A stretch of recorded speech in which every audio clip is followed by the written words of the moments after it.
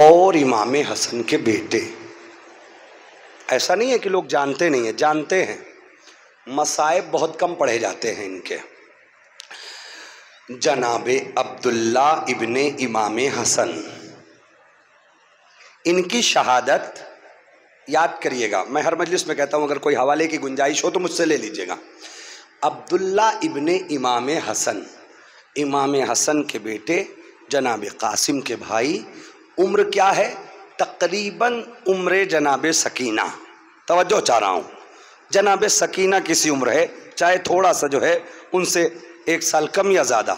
میں جیسے پڑھتا ہوں، ویسے ہی آپ کے سامنے عرض کر دیتا ہوں۔ عزیزان گرامی، شہادت کب ہوئی ہے جانتے ہو؟ جناب علی اصغر کے بعد اور امام حسین سے پہلے۔ یاد کریے، بہت کم مسائب پڑھے جاتے ہیں۔ یقیناً یہ شہدہ بڑے مظلوم ہیں، جو کربلا میں بھی مظلوم رہے اور آج بھی مظلوم ہیں۔ ان کی مظلومیت پہ دل کھول کے کوئی روتا نہیں، یقیناً ان کی بھی تو مائیں رہی ہوں گی۔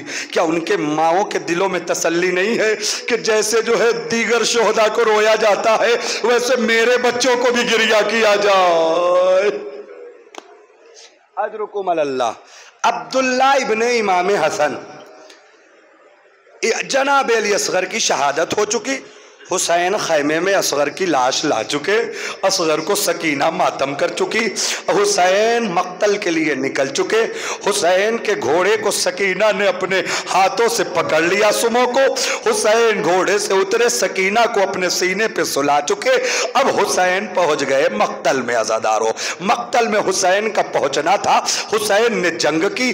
جناب عبداللہ نے وہ باتیں اپنے کانوں سے سنی کہ، اے قاسم، آؤ، کیا اپنے چچا چچا کی جنگ نہ دیکھو گے۔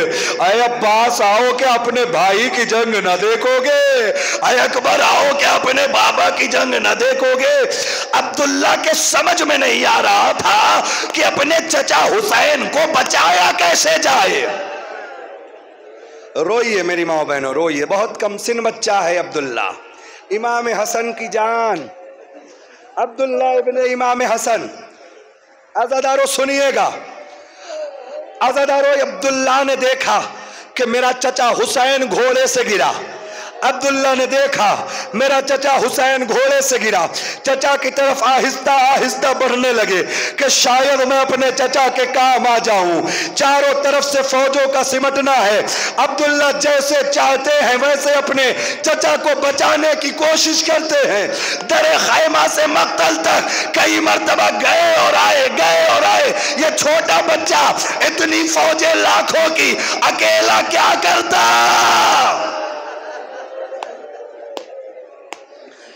ازادار فوجوں کا ازدہام رکا۔ فوجوں کا ازدہام رکا۔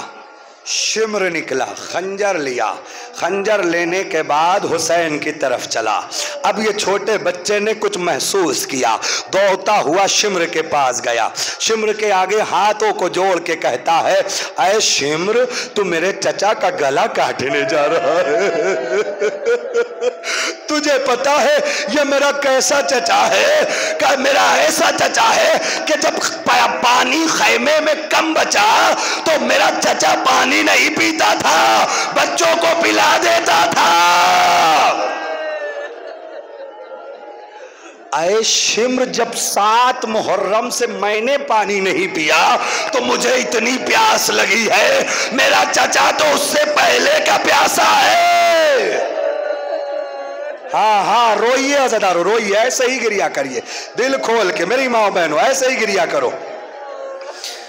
ایک مرتبہ وہ کہتا ہے، اے شمر میرے چچا کو چھوڑ دے۔ اے شمر میرے چچا کو چھوڑ دے۔ چاہے اس اس کے بدلے تو مجھے قتل کر دے۔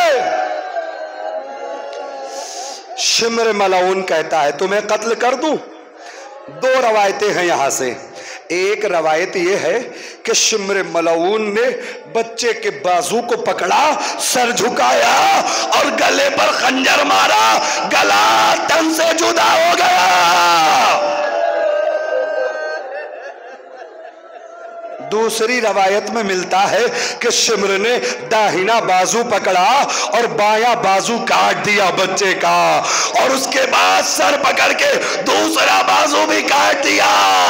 اللہ جانے دونوں روایتوں میں کون سی روایت صحیح ہے، لیکن جو بھی روایت صحیح ہے، اگر بچے کا سر کٹ گیا تو بچہ چچا حسین پہ قربان۔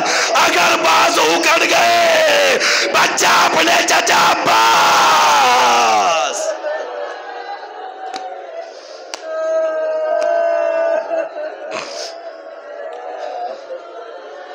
اجرکم اللہ۔